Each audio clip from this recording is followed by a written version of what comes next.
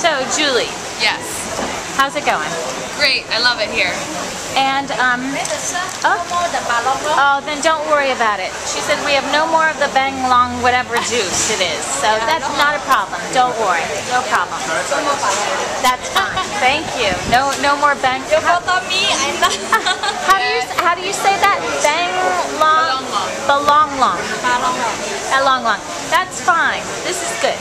Thank you. Okay, so no more Belong Long long juice.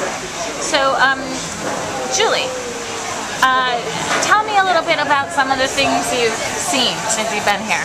Um, right now we're in Chinatown, and it's really cool. It feels like we're in China, and then we're in Little India, which is cool.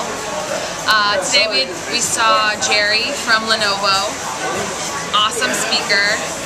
Um, very American compared to Douglas from a sushi place. And just hanging out with Jean. Yeah, Jean had some pretty good questions over the past couple days for some of our on some of our visits.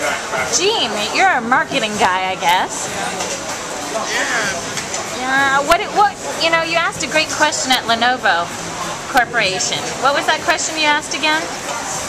Uh, just about uh, first mover advantage and co-branding. How they plan to incorporate within China. And what? Did you get a sufficient answer to that question? Yeah, I think so. What did they say about that? Uh, Jerry seems like he's the type of guy that would just go for it and not really. I don't know. He doesn't seem like he would wait. He would just do the first advantage no matter what the cost. Right. And you talked about national advertising, right? Instead of going in on a regional basis. Yeah. And he kind of confirmed that they they're going to go in on a national, right? Yeah, I think I think Lenovo has the brand power, especially since they IBM, that they have the brand power to, to stay in China. Right. Now, when we were at Singapore Management University yesterday, Julie, what kind of um, computers were they the students using there? Um, I didn't see any Dell. There was a lot of Macs and um, Toshiba and what else? HPs, HPs, yeah. some kind of Macs. Definitely, everyone had Macs and iPhones though. So does that go against some of the things we've been hearing about Apple in Asia?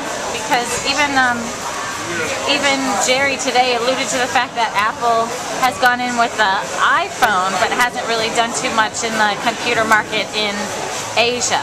Yeah, I think he, I think the population that we saw was like the students, young students. Maybe they're more into Macs, whereas like generally the whole country has more um, other brands. But yeah, I definitely saw a lot of Apple influence in uh, at SMU.